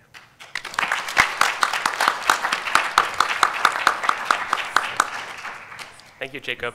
Yeah, science is more than just exploring our area of expertise. It's really exploring ourselves as well. Um,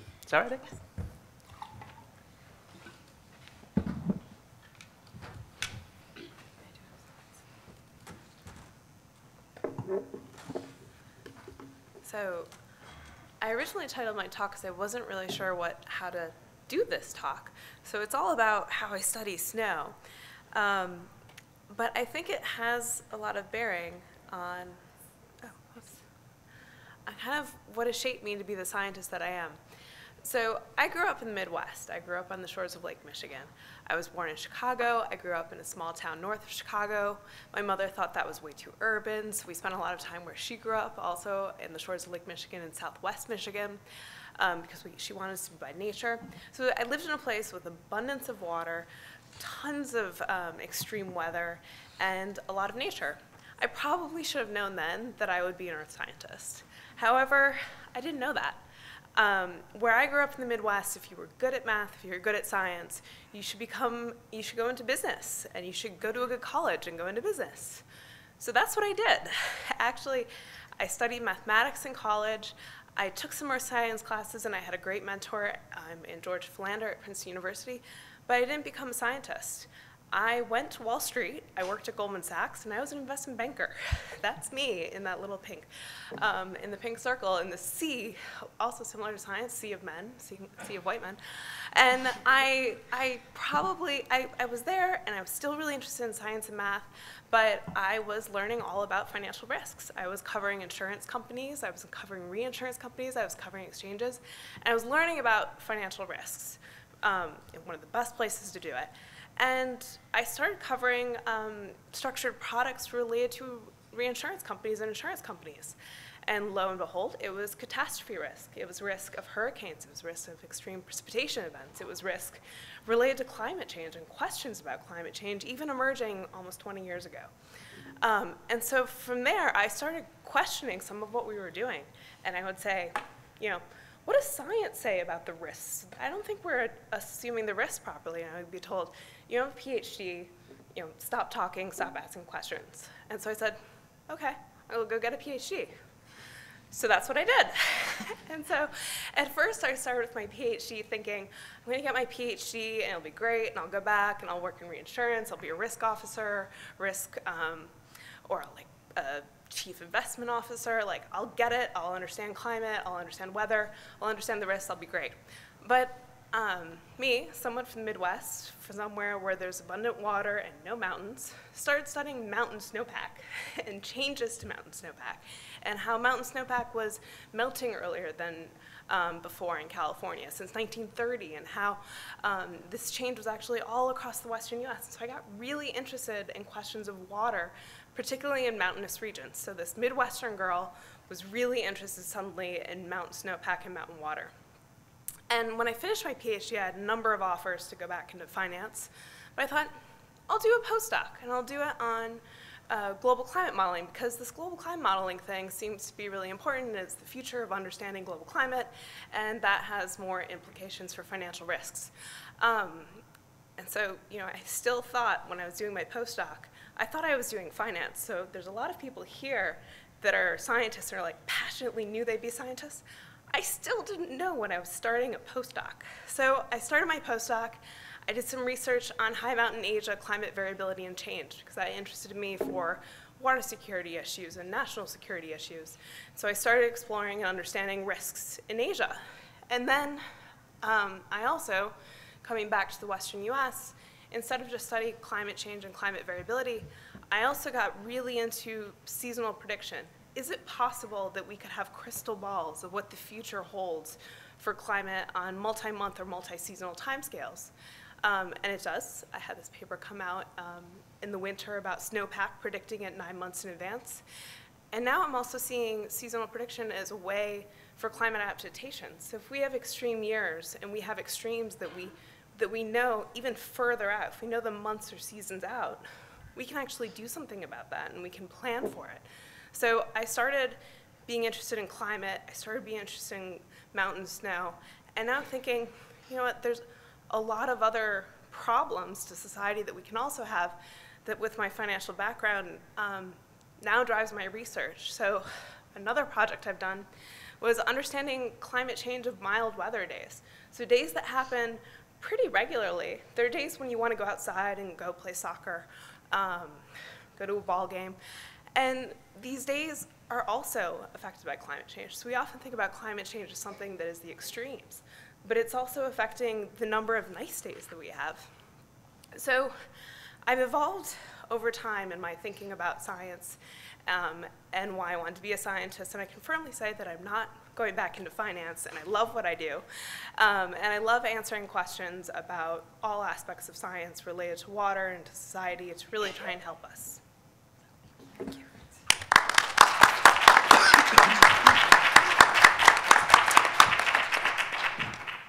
So we have a couple changes for the last two speakers on our schedule. A couple um, people committed to do the talks and had um, different family situations come up, travel situations come up, that they needed to, um, to either not come to AGU or, or leave early from AGU. Uh, so where is the best place at AGU to find two um, speakers for five-minute talks about why we do science? Diversity, equity, and inclusion workshops. So you're in for a real treat as Rebecca and Terry share their story about why they want to experience, or why they want to be scientists, why they are scientists, um, and I'm really excited to have them join us. So Rebecca.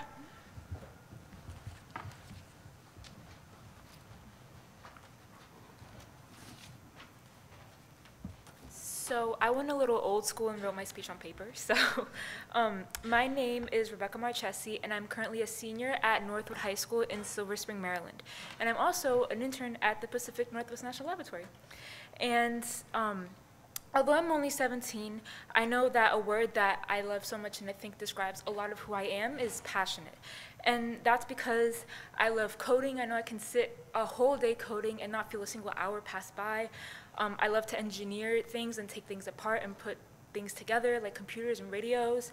And sometimes I can get a little out of hand with what I take apart. Um, and I love math. I remember taking calculus in high school, and I was like, why do people not like this class?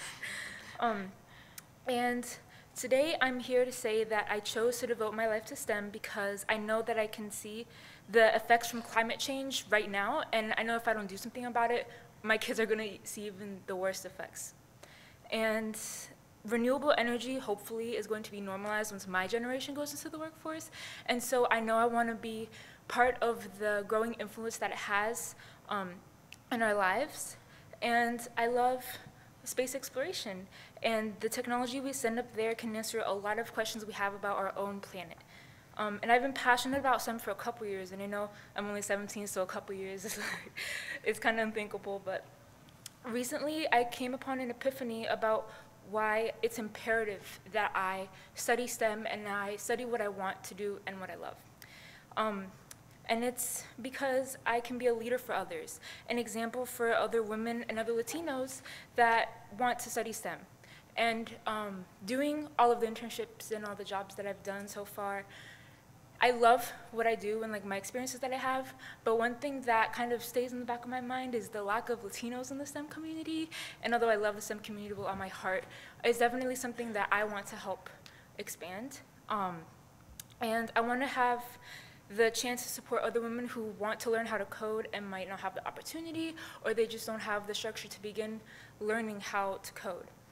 And I remember a couple weeks ago, um, this girl from my school, she just joined the wrestling team, which I've been a part of for two years now. And um, she told me that I was her inspiration for joining the team. And when she said that, that, that word hit me like a truck because I don't think of myself as inspirational. Like, I'm just like little old me, like in school and like doing what I can. And I'm very early in my career. Um, so when I think of inspirational, I think of like Michelle Obama. And it was a big shock to me to hear that. And I soon realized that you don't have to have like a big name or be famous or have everyone know who you are so you can do little changes in your community. And um, that's why I'm so adamant about my love for STEM, is because if I'm out there and people know that I like to code and I'm in STEM and I'm going to pursue that, then hopefully I can have other women who are in the same position as me follow their dreams as well and not be discouraged about the representation in the STEM community. And I'm just so lucky to be able to pursue what I love and be that person who can encourage others to follow their dreams as well. Thank you for listening and have a wonderful rest of your AGU.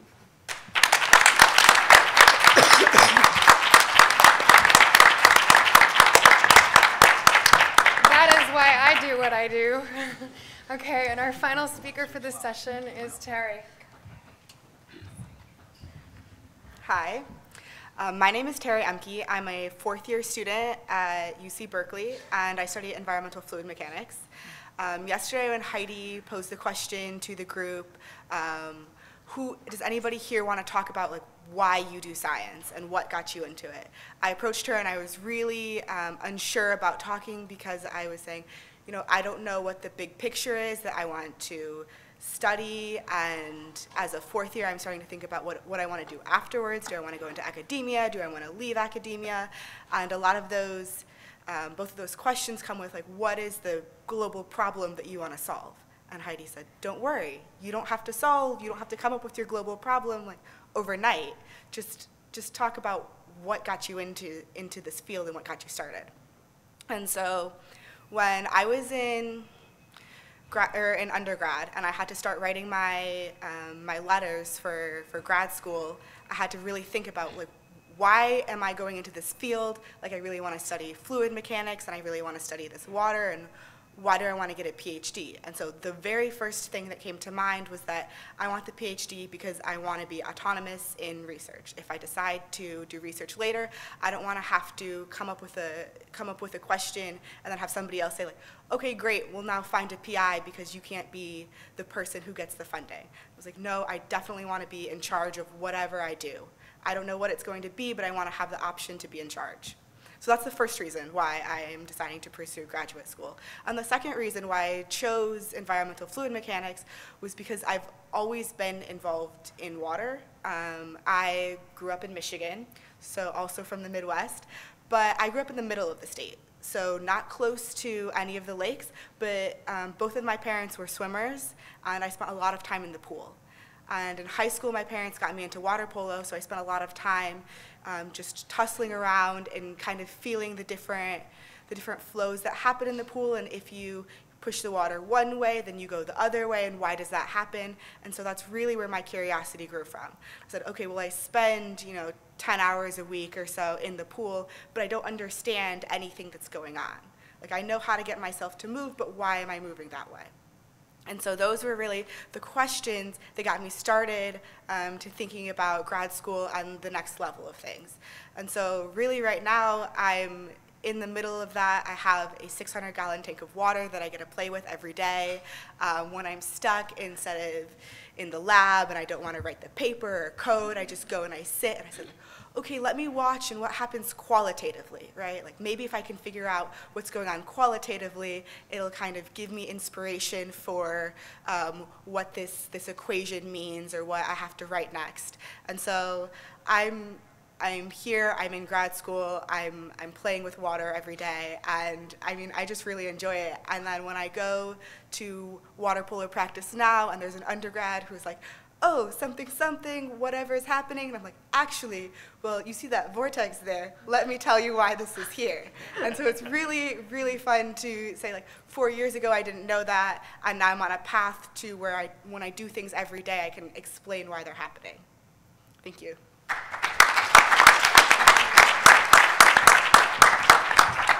I told you all you were in for a treat.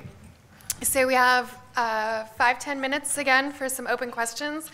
Um, open questions from online um, people who are watching online, open questions from in here. Do we have anyone who wants to start with the first question?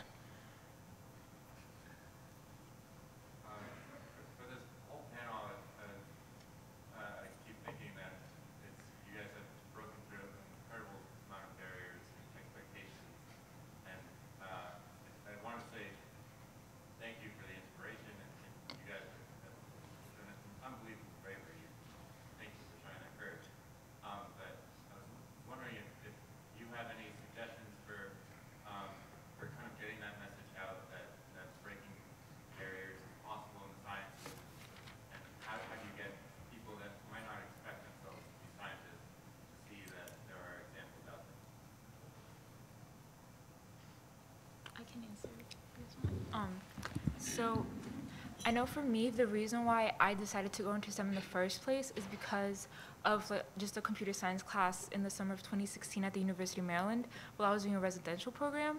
And um, just after I wrote Hello World in Python, like I knew like this is for me. This is what I want to do for the rest of my life. And I remember I would tell all my friends what I learned because I just I I don't know why I just love it so much and I think it's so interesting and I love telling other people about it. So I think having the exposure yourself or giving other people the op- opportunity to get that exposure will lead them into a path even if they don't go, eventually go down that path. They know what they like and what they don't like now. I, I can add something to that. Um, I've, I've recently come in, learned about some research that, that looks at you know how do you do effective outreach? And um, there was a, a, talk earlier in the session about you know we don't have a data problem. Shouting data at, at, at people is not actually going to change minds. And, and, some of this research I've, I've in, uncovered is that maybe inspiring curiosity is a better way than teaching people information and so I think what you just said is exactly that. And I think any way that you can, that we can inspire that curiosity, even for people who are diametrically opposed to things we might think, people who are mistrustful of science, if you can get them to to, to actually genuinely be curious about something, I think then the rest of it just follows naturally. I think that going off of that point, um, showing somebody that what they're already curious about can be taken in to the scientific method or the scientific fashion. So if you have somebody who says, oh, I like this, and I like it because of this, and then you say, okay, well, you know, you decided that you liked this because you tried all these other things, and you, and this one reason is the one that, the reason that you like it best. So therefore, you already um, did what a lot of scientists do by, you know, sampling different things and figuring out what's important to you and going after that. And so I think if you reframe um, a lot of a lot of things that people are already thinking or that they're already saying into a way that models what they associate with science, then they'll see the connections. Well, I will add, I guess, two things. Uh, the first is, you know, it's simply sharing your story. Um, we're privileged at the University of Arizona in my department is the tree ring lab. You know, wood is very organic, and when you have people come and visit, whether there are um, school students or you know different different I would say category of population you just share your own story and then you just show them. You show them what you do. You know we show people rings we let them count them and they get inspired first to, to realize that you know you may look at a tree and not think what else you can you know extract from a tree as an information but also that you know we're just people who happen to be curious about particular questions. So yeah last piece, um, for me, it was mentorship. The mentorship that I got early on, I didn't know I was going to be a scientist, but that, that seed was planted that I could be a scientist. Mm. And so as time went on, I realized even though I had gone to, in all my classes, I never had a female leader. So I didn't also think of women as scientists. Mm-hmm. It was very ingrained into me. And so it wasn't until I got older that I was like, wait, I, I like to ask questions, I'm creative. I should be a scientist, and I love this.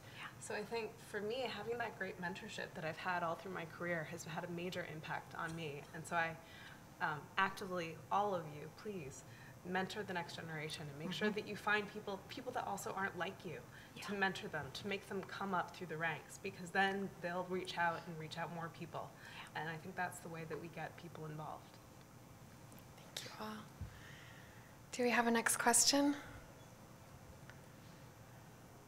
If not, I'll jump in with one. So I've done a bunch of programs on leadership training where there's an emphasis and a focus on values and, and kind of exploring ourselves and thinking about if we were to put one or two or three values or 10 values forward, um, out of 200, out of 500, out of thousands of values that we could put forward, what is it that we would put forward to the world as, as sort of some of the core values we put forward? If you could name and describe one value that's important to you and why and how it makes the connection you whole.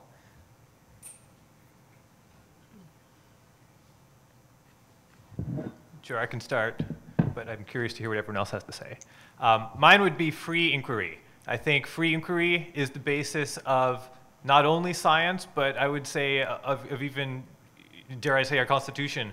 But I think that free inquiry is, is a, a, lifeline. If, you're, if you are caught in a delusion, if you're caught in bad thinking, if, if you're caught in any sort of intellectual prison, uh, if you have genuinely free inquiry, you can get out of it. And I think that's on a personal level and on a societal level. So I think that's an important value to defend. Um, I can go. one thing I really value and try to share with others is just education, whether it's academic or cultural or just any kind of help information that can get out to others. And so that's why I also love the pre-college program that I'm in because they kind of take in these students from underrepresented groups who know nothing about going to college or how to apply or what it is because their parents haven't done that and so they have no background or foundation to get up in life. And so I think it's important to share just the little things. If you know a piece of information or someone who, who someone who else who knows that information, I think just leading others to that is very important. One thing that I really value is loyalty. And I mean, I guess it's a little bit different than the previous two values, and it doesn't have to be loyalty to a different person. It could be loyalty to yourself.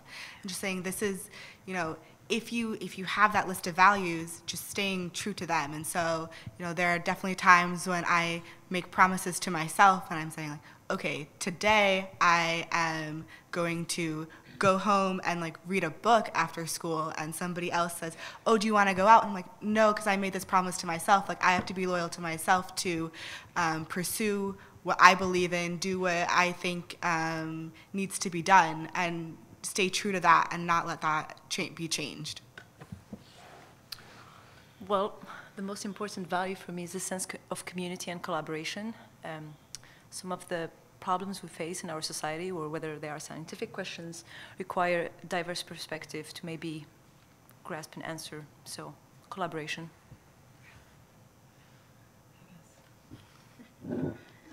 Um, so for mine, it's sincerity. So um, being very sincere in my mentorship, my working with others, and then also why do what I do. And I think that um, in that way, our voices come out and are very compelling and are very much um, people understand where we're coming from and are thinking about it. Thank you, everyone.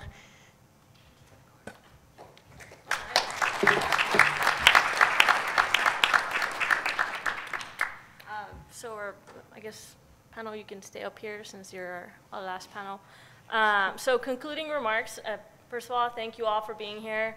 Uh, If we do this next year, I'm gonna try and like, you know, sneak in a keg or something, so we can all have some beer while we're doing this. Um, So I guess uh, one of the things that we all got from today's three panels, uh, beautiful, diverse minds, all with uh, different paths and still on the same planet, is that community um, is key.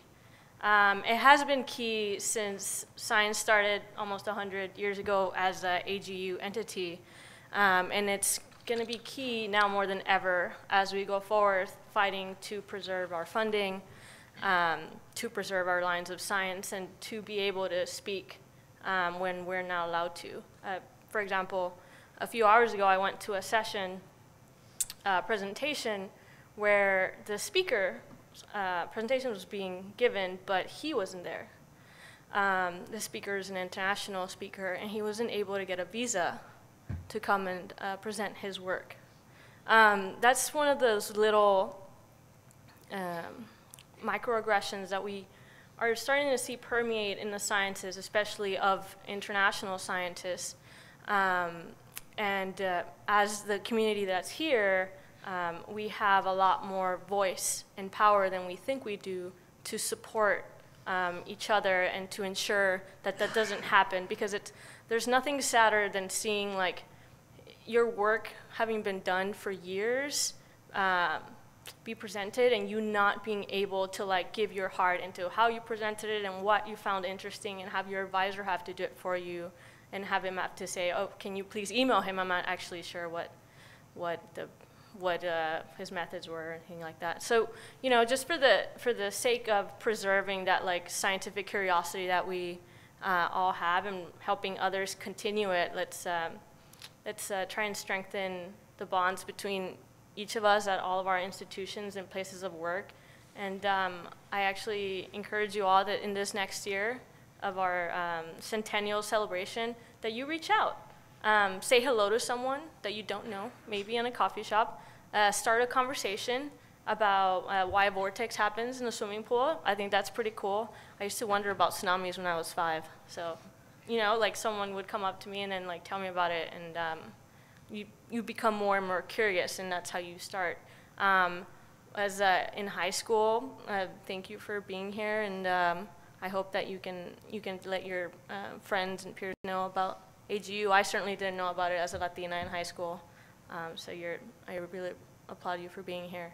Um, so I also want to give a, a, big thanks to the rest to our fellow conveners, Tashiana, um, Heidi, who got two other wonderful speakers to come, Sanjoy, who's hiding in the back here. Um, and I just want to say uh, thank you all for coming to AGU. Thank you for coming to this talk on this Friday. I hope that you get a happy hour somewhere um, if you're going to one. And uh, yeah, let's, let's uh, take a deep breath for a bit before we have to start thinking about 2019 AGU, which is now everywhere in this building. So uh, have a good one, guys, and thanks for, thanks for coming.